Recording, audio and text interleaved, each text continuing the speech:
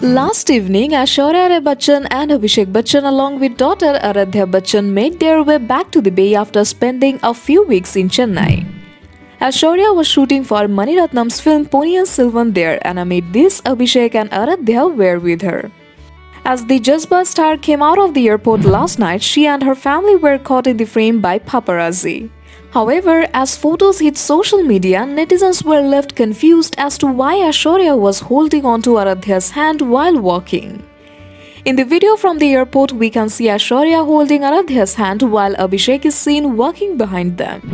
The Fanney Khan star seemed to be taking care of her daughter amid the paparazzi frenzy. However, netizens noticed how Aishwarya was holding onto Aradhya and wondered why.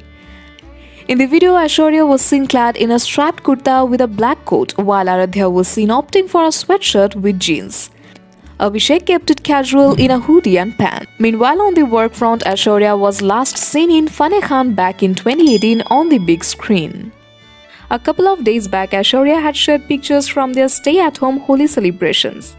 There were pictures of Holika Dahan and Aradhya's pictures with her hand with Holi colors. The pictures had given a glimpse of Aradhya's grandfather Amitabh Bachchan's sprawling Mumbai home with a spacious garden. On the occasion of Valentine's Day in February, Aishwarya had shared pictures with Aradhya with heart-shaped decoration and chocolate cake. She had written, Love you eternally and unconditionally, my angel Aradhya. Reportedly, Aishwarya will be seen in a double role in the film, which also stars Vikram and Amitabh Bachchan among others.